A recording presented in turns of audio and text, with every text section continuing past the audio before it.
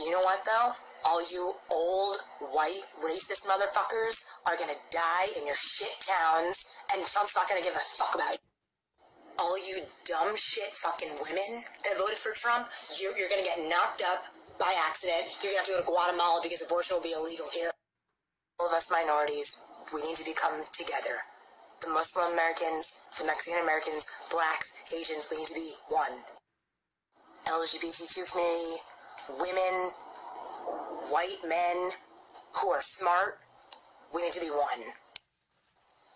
And you, motherfuckers that voted for Trump, you guys are gonna suffer. You will be the ones that will be going to war with all the countries that are gonna come fucking kill us. Trump hates China. China is the world's biggest economy. China's gonna be like, fuck you, and we're gonna die.